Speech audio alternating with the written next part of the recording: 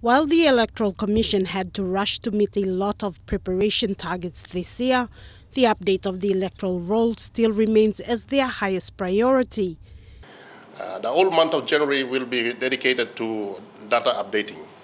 We will update data. Uh, the month of February is dedicated for objection period, uh, is, is objection uh, time. So uh, the preliminary rolls will, will be displayed so people can go and object to the roll. And I hope to have the final uh, roll printed by end of March.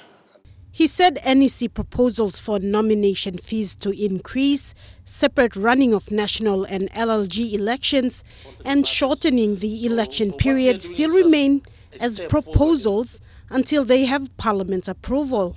At this stage, uh, I don't know whether Parliament will pass that law or not, so I cannot say. So we'll still rely on the tentative date that was uh, initially uh, agreed or approved by the Governor General.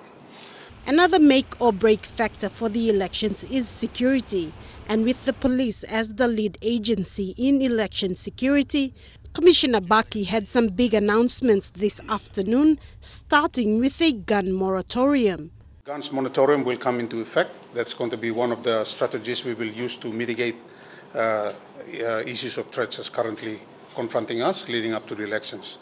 With 10,600 personnel expected to work during the election period, this time authority will be decentralized to provincial and divisional commands. Uh, that number uh, also uh, includes 500 uh, correctional services officers who will be deployed to assist us and 500 defense force personnel that will assist the police.